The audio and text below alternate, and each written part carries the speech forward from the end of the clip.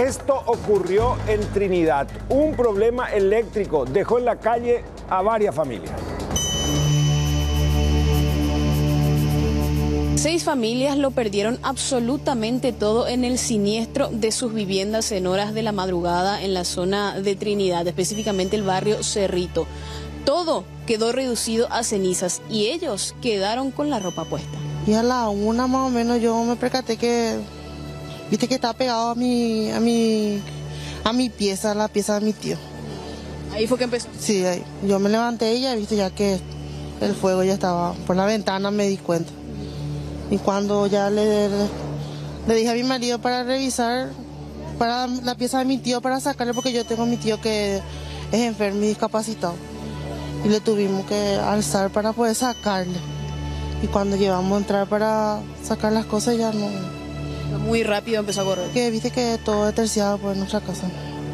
Y eso colaboró para que el fuego se avive también y, y rápido. Con... Más rápido, más rápido.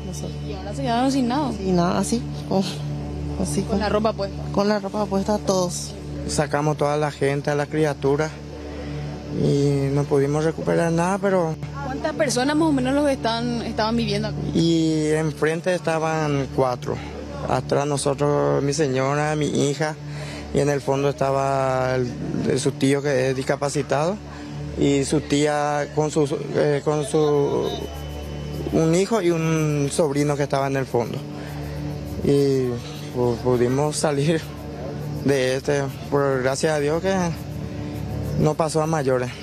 Lo que necesitamos ahora también es ropa, calzado, porque hay criaturas, mi hermano enfermo y, y todo con cubierto, todo, sábanas, de todo, porque no quedamos sin nada. Afortunadamente, durante el siniestro todos lograron salir a tiempo. Sin embargo, continúan trabajando en el lugar para evitar que el fuego se reavive y afecte a otras viviendas aledañas. Además, apelan a la solidaridad de la ciudadanía para la donación, por ejemplo, de colchones, algunos electrodomésticos, ropas y calzados, sobre todo porque entre los afectados se encuentran adultos mayores y también niños.